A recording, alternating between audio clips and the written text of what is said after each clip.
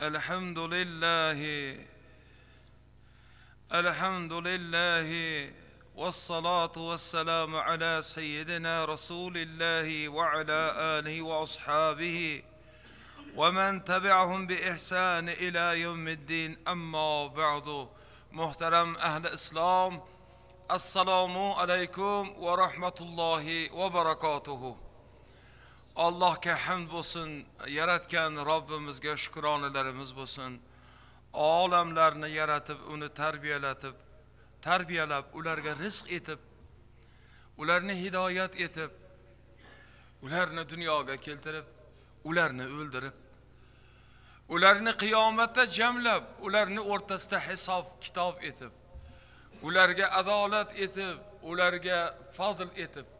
Ey ollohim shuncha maxluqot mavjudotni ichida musulmonlardan qilib yaratganingga shukur birodarlar musulmonchilikdan hazrati payg'ambarimizga ummatlikdan ham ortiqcha baxt bormi? Baland darajat bormi? Kim o'zicha o'zi musulmon bo'lib olgan? Kim? Kim o'zi aqli bilan iymonini topgan? Kim? Nasli nasabiga ko'ra iymonga kirib qolganlar ham bormi? Kitoblarda ma'lumotlarda. Payg'ambarlarning otalari ham hatto payg'ambarlarning onalari ham va hatto payg'ambarlarning farzandlariga ham tarixda iymon nasib etmaganlari etmaganligi haqida ma'lumotlar bor.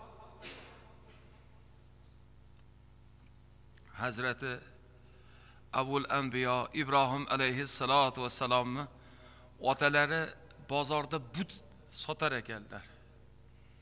Ani sanam borku mushriklar cho'qinadigan sig'inadigan. Sanamlarni ibrohim alayhissalomni otalari sotar ekanlar. Lut alayhissalotu vassalomni ayollari iymonga kelmagan ekan. Nuh alayhissalomni farzandlari iymonga kelmagan ekan.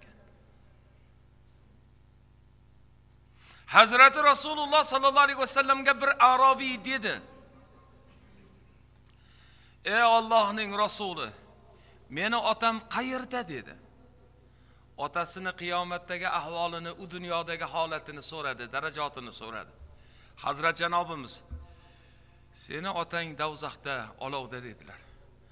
Bir ahvol bo'lib qoldi arobiy tasavvur qiling ollohni payg'ambari otang davzaxda desalar qanaqa bo'ladi holat? Uni unga achinmaydigan mo'min bormi?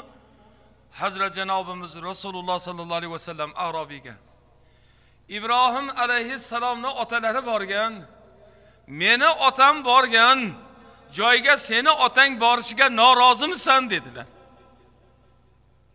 E mo'minlar ey musulmonlar ollohdan hidoyat kelishligi va u faqatgina hidoyat qilishligi mumkinligini esdan chiqarmaylik ekan. Iymon so'zlarini ayta olganimiz iymonda tura olganimiz robbimizni zikr qilib turganimizni o'zi ulkan baxt ekanligini unutmaylik ekan. Allohim zikringni nasib etgin. Sani yodingni qilib shu aytganingni qilib qaytarganlaringdan qaytib musulmonchilikni qilib o'sha haqiqatga yo'liqqan onimizda oxiri bir imtihon bo'lar ekanku. Mana oddiy hayotda borku imtihon. Maktabga kirdi imtihon. Birinchi kursi e, birinchi sinfni bitirdi imtihon. Ikkinchi sinfni bitirdi imtihon. Oliygohga kirdi imtihon. Kursdan kursga o'tdi imtihon. Bitirdi imtihon. Imtihon imtihon. Va birodarlar dunyoni ham imtihoni bor ekan. U imtihon odamni jon berar vaqtida bo'lar emish oyatida aytadi. أعوذ بالله من الشيطان الرجيم يا أيتها النفس المطمئنة ارجعي إلى ربك راضية مرضية ey ollohning zikriga to'yingan nafs mana shu yerda nafsni turlari bor ekanligi haqida ma'lumot keladi odamni nafsi deganda bu yerdagi holatni mufassir ulamolar odamni ruhiyati deb ham tarjima qilganlar bor. Ya'ni shunaqa odamni ichidagi ruhiyati holati shunaqa bo'lar ekanki ba'zilari ollohni zikrini qilaverib qilaverib unga to'yingan bo'lar ekan. Qarang qalblar zikr bilan to'yinar ekan. Odamni ruhiyati odamni nafsi zikr bilan to'yinar ekan. O'sha to'yingan nafsga farishtalarning xitobi bo'lmoqda. Ya'ni farishtalar ey ollohning zikriga to'yingan nafs bu yoqqa chiqqin ollohimni rizosiga chiqqin.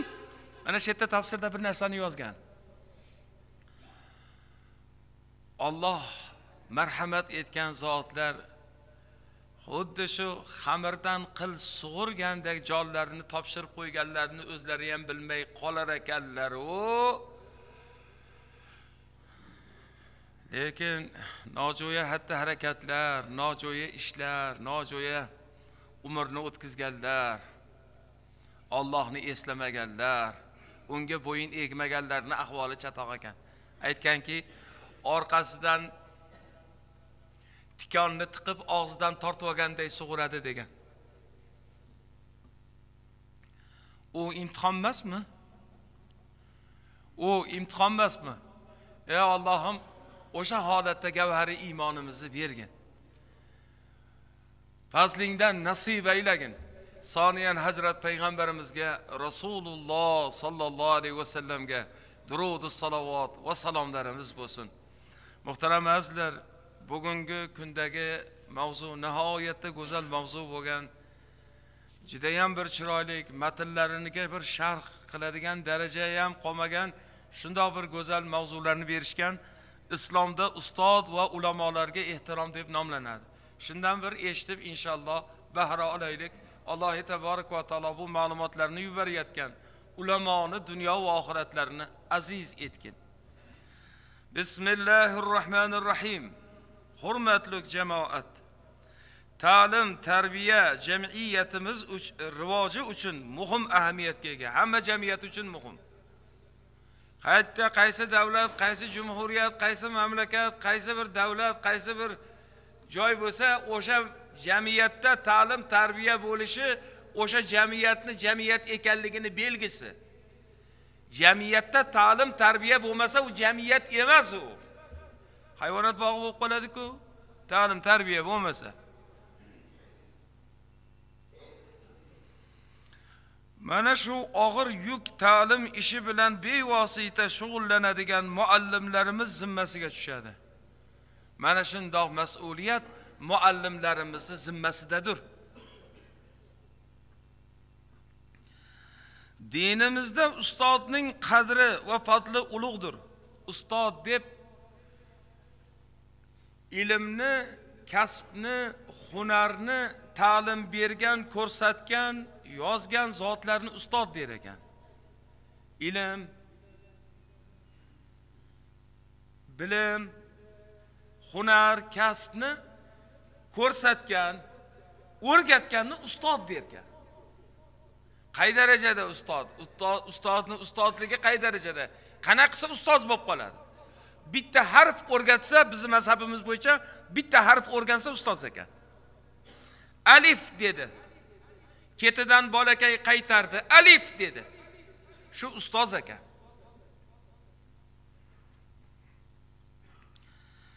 Dinimizda ustozning qadri va fazli ulug'dir. Chunki aynan o'sha zotlar kelajak avlodning shakllanishida katta o'rin tutadi.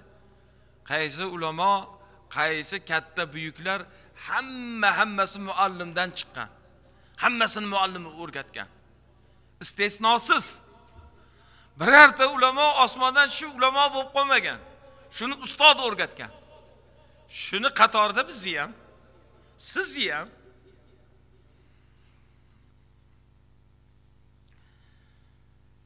Payg'ambarimiz sollallohu alayhi vasallam quyidagi so'zlari o'qituvchilarning fazilati uchun yetarli hisoblanadi.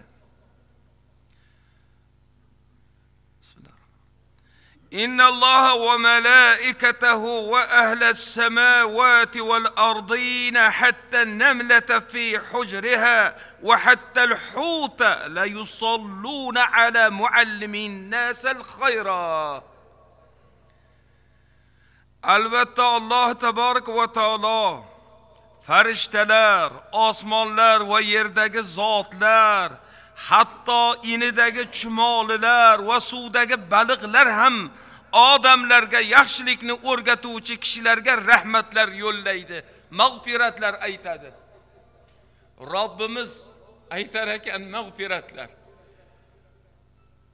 Butun osmondagi yerdagi hamma narsalar hatto farishtalar inidagi chumoli dengizdagi baliqlar insoniyatga ilm o'rgatgan zotlarga istig'for aytar ekanlar. Allohim gunohini kechirgin mag'firat etgin rahmatingga dohil qilgin deb hamma maxluqot tasanno aytar ekan. Shunaqa kasb bormi yana? Hech eshitganmiz shunaqasini? Yo'q.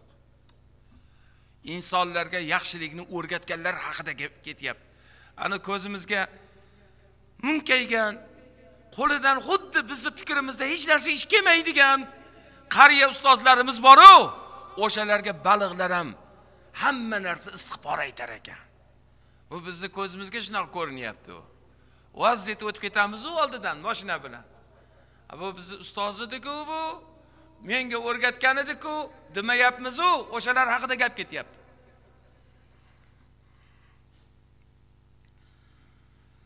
Ta'lim tarbiya ishi payg'ambarlarning vazifalaridan biridir. Payg'ambarimiz sollallohu alayhi vasallam marhamat etadilar. Hadisni tarjimasini o'qiyman. Albatta alloh taborak va taolo meni odamlarni qiyinchilikka soladigan ularning adashishini xohlovchi qilib emas balki muallim va oson qiluvchi etib yuborgan. Hazrati payg'ambarimizning vazifalaridan insoniyatga og'irlikni emas. Qarangda dinimiz faqat yengillikdan iborat. Qaysi ahkomini qaysi arkonini qaysi odobini oling hammasi yengil. Payg'ambarimiz aytyaptilar men insoniyatga og'irlik keltirish uchun emas insoniyatga yengillik keltirish uchun insoniyatga yaxshilikni o'rgatish uchun kelganman. Demak ustozlarimizni qilayotgan ishlari payg'ambarimizni sifatlariga yaqin ekan.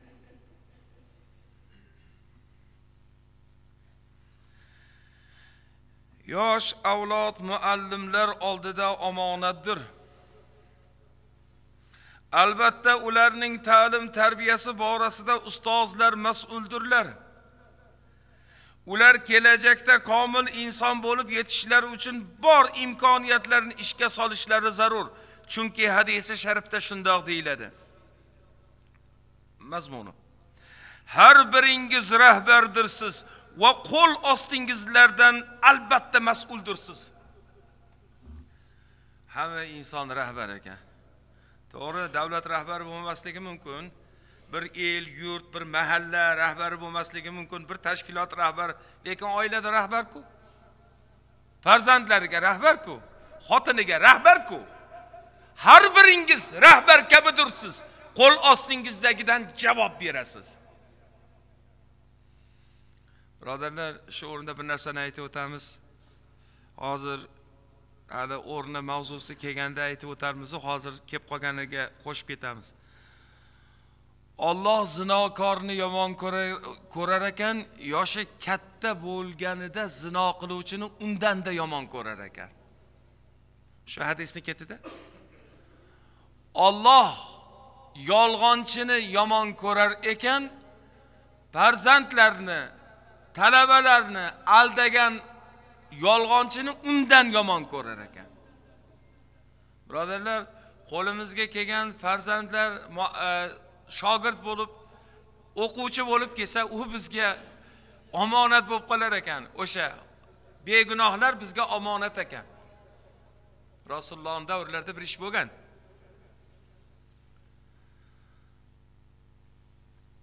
Rasululloh sollallohu alayhi vasallam makkai mukarramada turgan vaqtlarida hali madinaga ko'chmagan paytlari ekan yamandan u yerda ismlari ham yozilgan. Yamandan bir zot keldilar. Kelib rasulullohni istay boshladilar. Kechirasiz madinada ekan kechirasiz. Hijrat bo'lib bo'lgan ekan. Rasululloh sollallohu alayhi vasallamni qidira boshladilar. Shunda badbaxt abdulloh ibn ubay degan munofiqqa duch kelib qoldi haligi kelgan odam. Shunaqa bir munofiq o'tgan abdulloh ibn ubay. Umrini oxirigacha rasulullohga bu dushmanlik qilgan. Haligi rasulullohni qandoq ko'rsam bo'lar e ey rasululloh juda uzoqqa ketganlar. San ko'rolmaysan o'zi sanga nima kerak? Man dinlarga kirmoqchiman men kalima aytdim. Endi menga nimalar farz bo'ladi? Shuni o'rgangani keldim. Qarang haligi bechora yamandan iymon keltirib kelibdida hazrati payg'ambarimizdan dinni o'rganmoqchi bo'lib keldim. Ha dinni o'rganadigan bo'lsang ha dinda hech narsa yo'q bo'ldi iymon keltirdingmi ketaver debdi. Yo'q ey namoz farz shekilik ha namoz namozmi? Namozni tahorat qilasan. Tahorat qilganingdan keyin uch marta o'ng tomonga yumalaysan uch marta chap tomonga yumalaysan oyog'ingni tepaga ko'tarasan.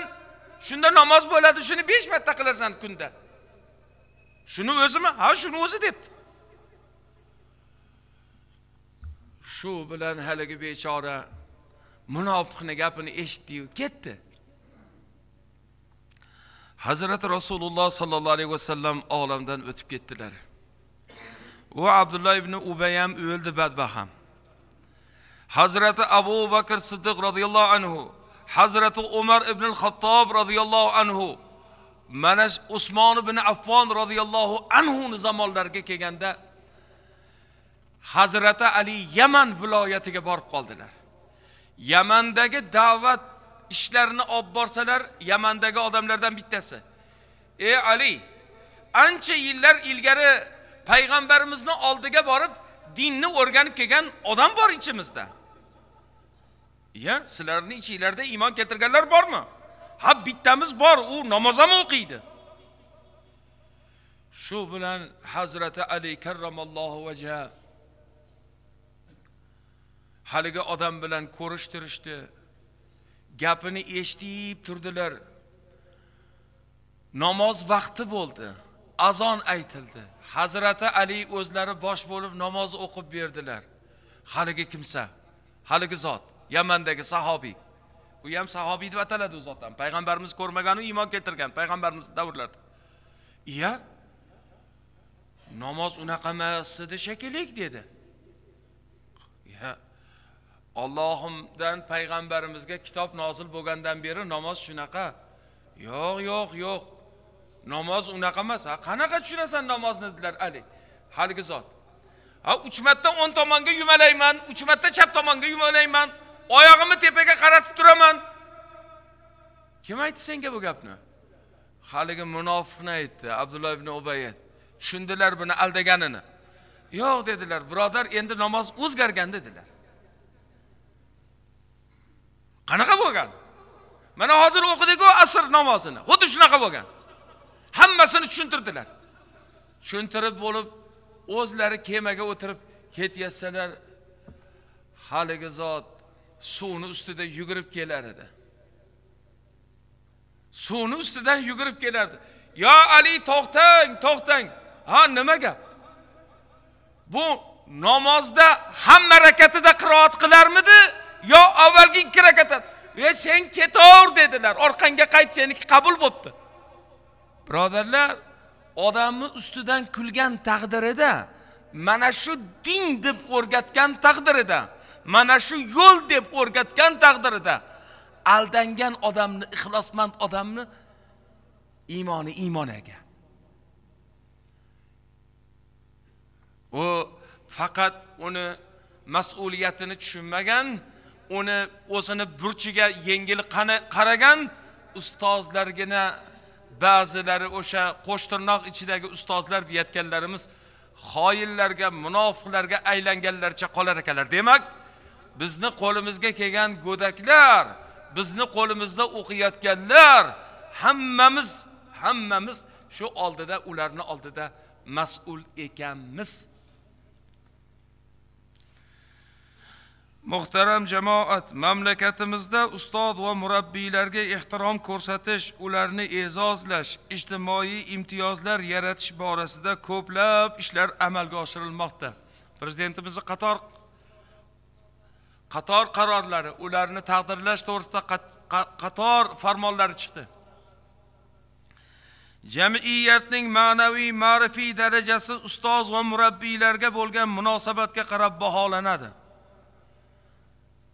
Jamiyatni ko'p qismini tashkil qiluvchi yoshlarimizga ta'lim tarbiya berib kelayotgan ustoz va murabbiylarimizni har vaqt hurmatlashimiz e'zozlashimiz lozim.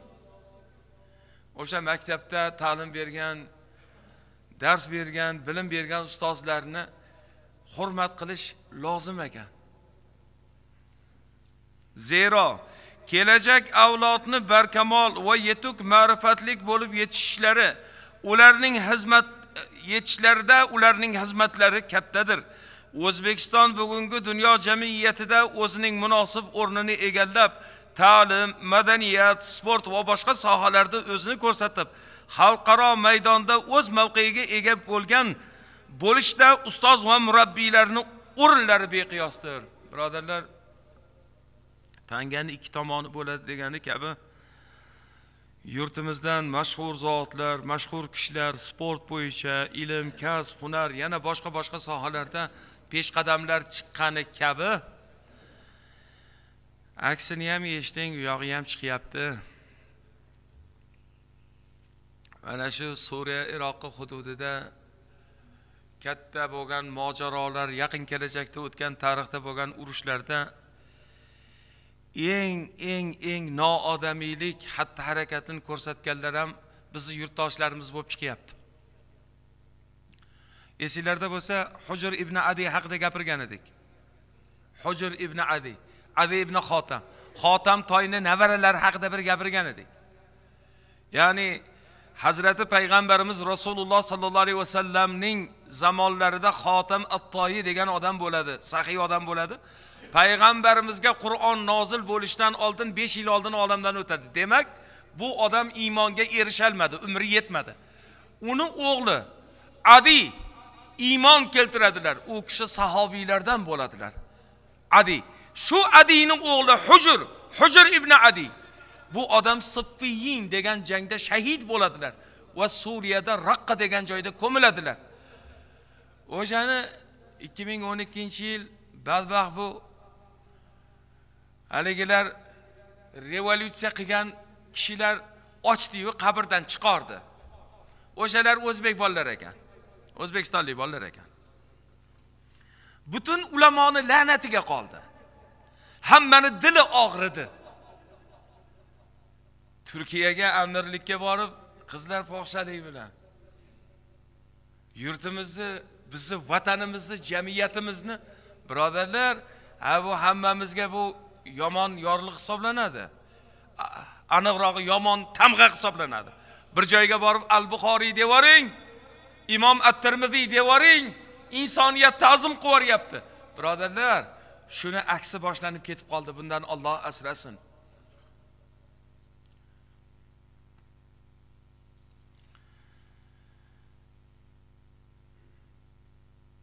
Shu munosabat bilan yurtimizda har yili 1 oktyabr kuni ustoz va murabbiylar kuni sifatida nishonlanadi.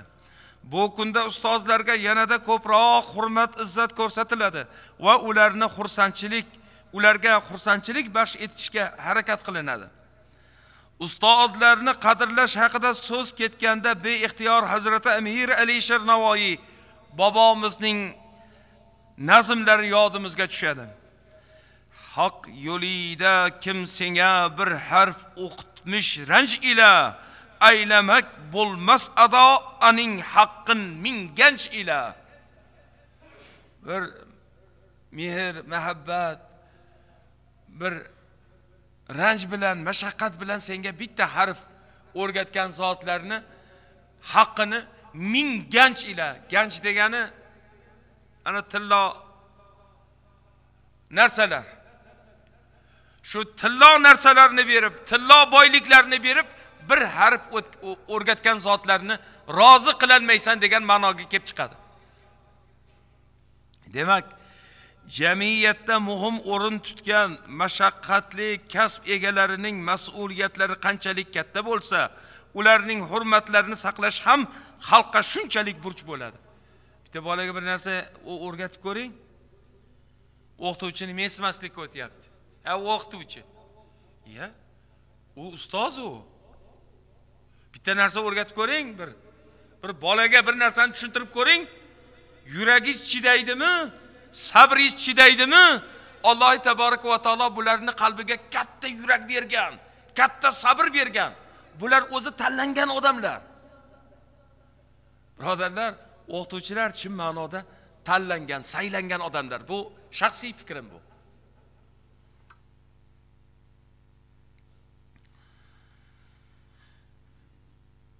dinimiz ta'limotiga ko'ra ilmlilarga e, ilmlarga amal qiluvchi ulamolar va odamlarga foydali ilmlarni ta'lim beruvchi muallimlarning alloh taborak va taolo huzurida sha'nlari ulug' qadrlari yuksakdir.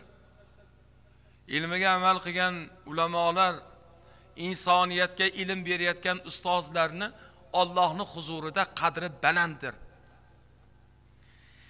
Insoniyat uchun foydali bo'lgan har qanday ilm islomda ardoqlanadi. Zamonaviy bilimlardan dars beruvchi ustozlar ham yaxshi niyatlari sabab ajri savobga erishadilar. O'sha bolaga qarab tursangiz hayotida ustoz unga ko'p yaxshiliklarga sabab bo'ladi. Ba'zi ustozlar mana shu katta katta ixtiro egalari katta katta kashfiyot egalari katta katta ish ish ilm egalarini eshitib tursangiz ko'pincha sohalariga kirishlariga ularga ta'lim bergan ustozlari sabab bo'lib chiqadi. O'zimizda ham shunaqa. Texnikaga qiziqamiz. Texnikaga fizikaga qiziqamiz. Tarixga qiziqamiz. Biologiyaga qiziqamiz. Bir ichini ochib ko'rmagan hayvonim qolmagan hammasini ichini ochib ko'rganman. Shu ustozlar qiziqtirardi. Ustozlarni ko'rib havas qilardik. Shuni orqasidan ilm olishga harakat qilardik. Tarixni shunaqa qiziq gapirib berishardi.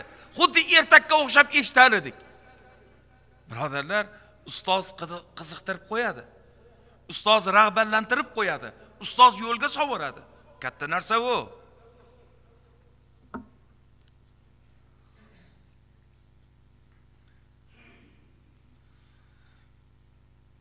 Ulamo va ustoz murabbiylarni qadrlash va ehtirom qilish shar'an vojib amallardandir. Qaytadan o'qiyman? Ulamo va ustoz murabbiylarni qadrlash va ehtirom qilish shar'an vojib amallardandir. Lozimligi shariatdagi vojib degan amalga to'g'ri kelar ekan. Zero ular o'tgan ulug' zotlar va olimlarning merosxo'rlaridirlar o'tgan olimlar moli dunyoni emas balki ilmni meros qoldirgandirlar. O'tgan payg'ambarlardan mol davlat qolmagan. O'tgan payg'ambarlardan ollohimni ilmi qolgan. O'zlarini yo'llari qolgan. Boshqa meros qolmagan. Shularni merosxo'rlari ekan payg'ambarlarni. Imom buxoriydan quyidagi hadis rivoyat qilinadi. Hadisni tarjimasi ma'nosi. Rasululloh sollallohu alayhi vasallam aytganlar tushimda menga bir idishda sut keltirildi. Qongunimcha ichdim. Hatto tirnoqlarimdan sut chiqqani chiqqanini ko'rdim. Payg'ambarimiz aytib beryaptilar. Tushimda sut keltirildi. Qongunimcha ichdim. Hatto tirnoqlarimdan ham suv chiqa boshladi sizib chiqa boshladi. Sahobai ikromlar so'radilar ey ollohning rasuli sutni nimaga yo'ydingiz? Bu ko'rgan tushingizni mazmuni ma'nosi nima? hazrat payg'ambarimiz ilmga dedilar ilm ahlini alloh taborak va taolo qur'oni karimda madh etib shundoq marhamat etadi أعوذ بالله من الشيطان الرجيم يرفع الله الذين آمنوا منكم والذين أوتوا العلم درجات والله بما تعملون خبير olloh sizlardan iymon keltirgan va ilm ato etgan zotlarni baland darajalarga martabalarga ko'tarur birodarlar hazrati payg'ambarimiz rasulullohning ummatlarini ichida iymon keltirgan zotlarni ichida olloh ilm bergan zotlar bo'lar ekan. To'g'rida odam o'zini o'zi olim qilolmaydiku. Birodarlar bu o'qigan narsa hammani yodida qolmaydi. Yoki yodida qolgan taqdirda bayon etib berishi qiyin bo'ladi. Bayon etgan taqdirda o'zi tushunmasligi mumkin. Rosa gapiradi rosa gapiraveradi gapiraveradi ja qiynalib ketding a bolam nima deyapsan? Qirq besh minut gapirdi bir joyda. Voy bolam qirq besh minut gapirdingmi ya. Voy uchta to'rtta ma'ruza qilaman nima qirq besh minut vaqtini ya? Hech kim hech narsa tushunmaydi chunki o'zi tushunmaydi. Undan tashqari birodarlar alloh taborak va taolo o'sha zotlarni tanlab xarakteri ya'ni uni fe'li atvori kuch quvvati salomatligi fahm farosat o'shani ollohim o'zi mo'ljallab ilm berib qo'yadi shuni oyatida aytyapti. Sizlarni ichingizdan iymon keltirgan zotlarni ichidagi ilm egalarini allohi taborak va taolo baland qilib qo'ygan. Kitoblarda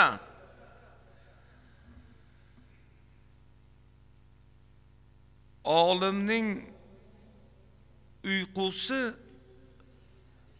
avomning yoki zohidning namozidan afzaldir degan hadislar kelgan. Albatta bu yerdan nafl namoz haqida gap ketadi.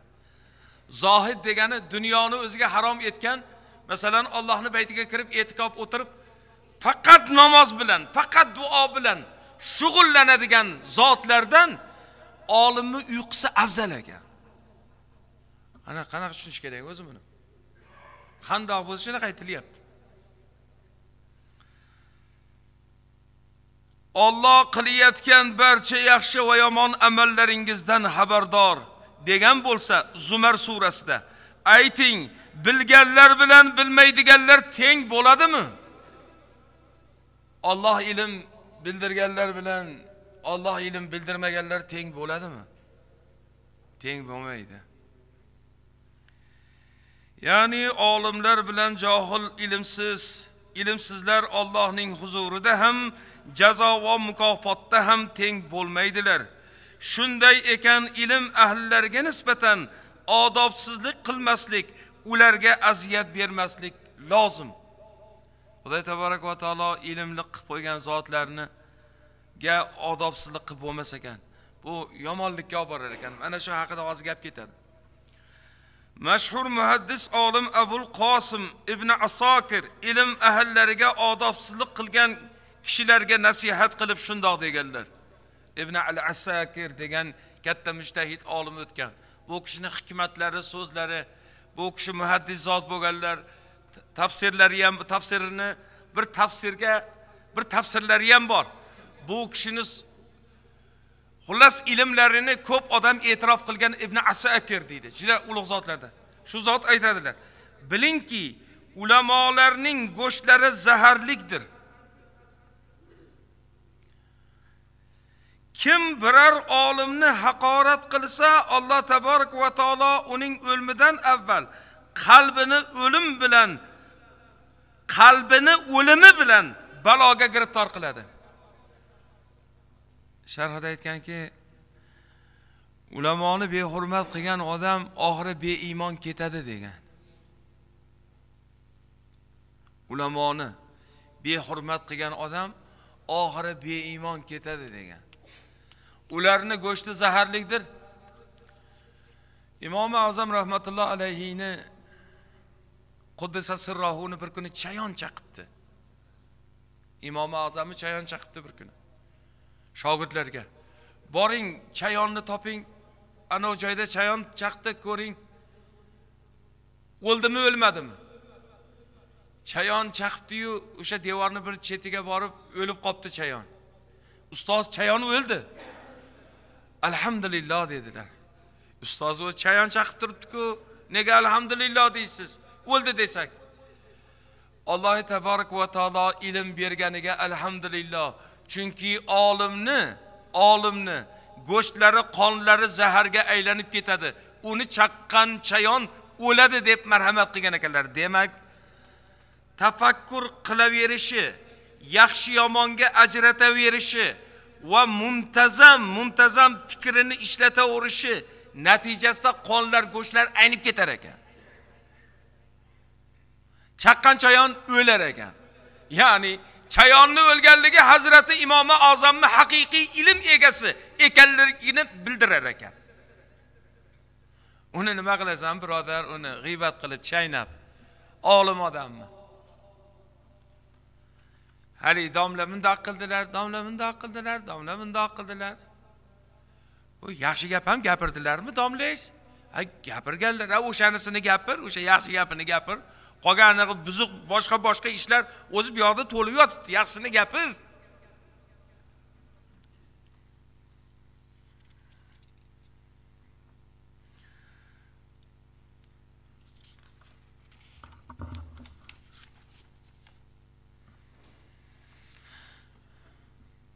Hurmatli jamoat darhaqiqat agar biz haqiqiy taraqqiyotga erishmoqchi bo'lsak dunyoning peshqadam xalqlari xalqlari safida safiga qo'shilmoqchi bo'lsak ilmga bo'lgan munosabatlarimizni islom ta'limotlari asosida o'zgartirishimiz lozim. Islom ta'limotlari asosida o'zgartirishimiz lozim. Hadisi shariflarda rasululloh sollallohu alayhi vasallam marhamat qiladilar. Hikmatlik kalima mo'minni yo'qotgan narsasidir. Uni qayerda topsa ham olishga haqlikdir hikmat mo'minni yo'qotib qo'ygan narsasidir. O ilgari yo'qotib qo'ygan narsangizni o'zingizni narsangiz. Yo'qotib qo'ygansiz topib oldingiz. Demak o'zingizniki. Topganlarning ichida siz haqliksiz. Birodarlar mo'min uchun hikmat shunaqa narsa ekan. Qaysi joyda hikmat topsa olsa mo'min o'sha haqlik ravishda olgan bo'lar ekan. O'qish kerak kitoblarni o'qish kerak. Hakimlarni eshitish kerak o'qish kerak. Qancha hakim o'tgan qancha ulamo o'tgan qancha ulug'lar qancha azizlar o'tgan. Uni o'qish kerak. Imom al buxoriy aytadilar insoniyat uchun insoniyat uchun ilm va faqat ilmdan boshqa to'g'ri yo'l yo'qdir degan ekanlar. Islomga kirib dinimizni tutib musulmonchilik qilmoqchimisiz? Ilm o'qing. Hayotda to'g'ri xatti harakat qilib yashamoqchimisiz? Ilm o'rganing. Yaxshilikka erishmoqchimisiz? Ilm o'rganing. Aytmoqchi. Oddiy odamlar ham ilmlar ilmlik odamlarga taxassub qiladi. Qarab tursangiz oddiy oddiy odamlar bo'lishadi ilmli odamlarga taxassub qilishadi. Hech e'tibor berganmisiz? Birodarlar uni bitta sababi bor. Chunki olimlar ilmni insoniyatni ruhoniyati hurmat qilar ekan. Ruhiyat yaxshi ko'rar ekan. Chunki ruh ollohdanku intilishga harakat qilar ekan o'xshatishga harakat qilar ekan taqlid qilishga harakat qilar ekan. Taqlidini sababi shu.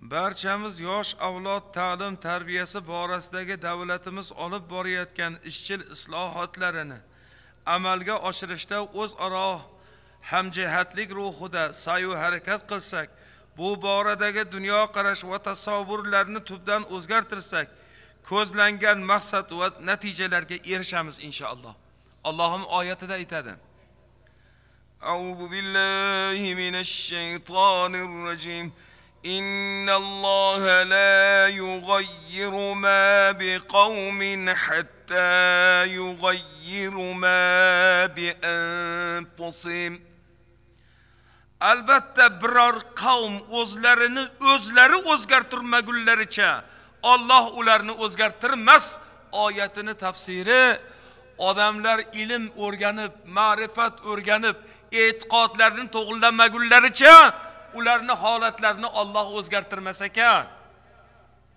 Ey birodarlar o'zimizda yo'q odobni o'zimizda nauzanbilloh yo'q taqvoni o'zimizda yo'q halollikni birovdan nima qilasiz kutib birovdan talab etib uni yo'q ekanligini arz etib. Oynaga qarang sallada turibmanmi ko'zoynagim bormi soqolim bor ayni shuni oyna ko'rsatadi. Shuni oyna qarang salla kiyib olgan bo'lsangiz besalla bo'lib qolmaysiz. Yoki boshingizda salla bo'lmasa oynada sallalik bo'lib ko'rinmaysiz. Birodarlar bizni xatti harakatimiz jamiyatda aks etar ekan. Biz ilm olsak biz odob o'rgansak farzandlarimizga ilm o'rgatsak odob o'rgatsak undan keyin o'zgarishi mumkin ekan.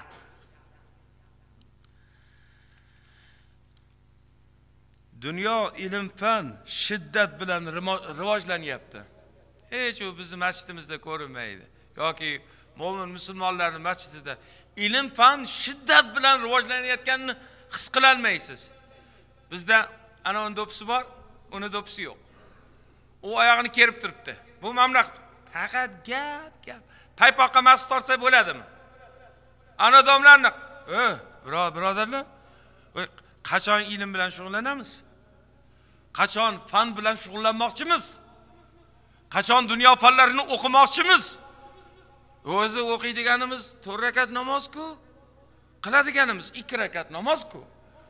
Tutadiganimiz bir oydagi ro'zaku beradigan beradiganimiz bir yilda bir marta zakotku. Umrimizda qodir bo'lsak umrimizda qodir bo'lsak bir marta haj qilamizu. Qachon ilm o'qimoqchimiz? Qachon? Nuqul birodarlar ibodatni ustida tortishuv. Dinni ustida urushuv. E yig'ishtir urushishni tortishishni. Aytmoqchi bahs haqida bahsni odobi. Bahs degani izlanish degani buhus izlanish. Bahsun buhusun izlanish ilmiy izlanishni bahs deydi. Xullas ulamo bilan ulamo olim bilan olim bahs qiladigan bo'lsa mana unaqa bo'ladi odobi. Bir gapni gapirdik masalan biz. Buni ulamo eshitdi va menga. Ijtimoiy tarmoqlarga emas menga shaxsan menga yozadi. Qori domla bu so'zni bundoq deb aytdingiz. Menga ko'ra meni tushunganimga ko'ra falon kitobda falon matnda bundoq ekan. Men uni olib o'qib ko'raman. Iya to'g'ri yozibdilarku. Iya baraka toping umringiz uzoq bo'lsin allohim sizdan rozi bo'lsin deb javob qaytaraman. Bu bilan ulamoni o'rtasida mehri muhabbati o'zaro hurmati jipslashadi. Unaqa bo'lmayapti. Bittasi xato qilib qo'yyapti. Ikkinchisi ijtimoiy tarmoqlar orqali haqorat qilyapti. O'zi anda o'zi mo'minni haqorat etish. O'zi oddiy holatlarda haqorat etish qotil kabidir deganlar. Qotil odam o'ldirgan kabidir. Odamlarni haqorat etish odam o'ldirgan kabidir. O birodarlar haqoratni o'rniga bahsga o'taylik. Ilm izlanishga o'taylik. O san undoq qilding san bundoq qilding. Alloh taborak va taolo barchaga tavfiq bersin rushd bersin hidoyat bersin. Dinimizga qarab tursangiz faqat yaxshilikka da'vat etiladi. Yomonliklar gapirilmaydi. Yomonliklar muhokama etilmaydi. Birodarlar yomonlikni birinchidan hammasini gapirib bo'lmaydi ikkinchidan. Yomonlikni gapirsangiz o'sha yomonlikni kasofati sekin sekin qalbga uradi sekin sekin qalbga uradi kitoblardan o'qiganimni ma'nosicha shundoqki odamni niyati va tilidan chiqayotgan so'zlar ma'nolar o'sha qilinayotgan niyat va so'zlarni chaqiradi degan. Masalan haqorat qilaversa odamlarni o'sha haqoratni o'ziga chaqiradi. Janjal qilaversa albatta janjal unga keladi yoki o'zi janjalga boradi. Mo'min o'zi bizga nima kerak? Allohni rizosi emasmi? Jamiyatimizni islohoti emasmi? Birodarlar urushib talashishni o'rniga ilm o'qiylik ekan. Ilm bilan shug'ullanaylik ekan. Inshaalloh bu mavzuga yana qaytajakmiz allohim o'tgan ustozlarimizni barchalarini rahmat qilsin. Qolgan ustozlarimiz sog' bo'lib salomatda yurishsin. Ular endi keksa bo'lishgan endi ular qarigan lekin o'sha qarigan jismlari egilgan jismlari biz uchun nihoyatda bir tog'day narsa. Ularni bir yuzlari alloh taborak va taolo nur rahmatga to'ldirgan bir narsa biz uchun. Allohim o'sha ustozlarni umrlari uzun bo'lsin tanu jonlari sog' bo'lsin. Qolgan ustozlarimiz e, o'tgan ustozlarimiz barchalarini alloh rahmat qilsin muhtaram azizlar. Mana shu jamiyatimizda jamoatimizda birodarlarimiz sa'y harakatlari bilan e, sakkizinchi to'qqizinchi maktab yana bu yerdagi maktablarimizni o'qituvchilaridan yigirma olti nafari ya'ni ulamolarimizdan sakkiz nafarlariga mana shu masjidimizdan e, mahallamizdan mo'min musulmonlarni nomidan ancha sovg'a salomlar ancha mahsulotlar olib tarqatilyapti. Bu uchun jamiyatimizga mo'min musulmonlarga o'zimizni tashakkurlarimizni bildiramiz. To'g'risida bu domla degani mehrga da'vat qilsa muhabbatga da'vat qilsa odamlarni jipslashga da'vat qilsa domla degani berilayotgan nazr niyozlarni to'g'ri to'g'ri joylariga qo'ysa uni qilinayotgan nazr niyozlari mo'min musulmonlarga rahmatlarini keltirsa allohim nazr niyoz etgan mo'min musulmonlardan ehsonlarini sadaqotlarini qabul etgin. Bunga sa'yi harakat qilib shunga mehnat qilayotgan do'stlarimizdan akalarimiz opalarimizdan allohim o'zing rozi bo'lgin. Baxtimizga ustozlarimiz sog' bo'lishsin salomat bo'lishsin. Yana bu mavzuga yana qaytajakmiz inshaalloh.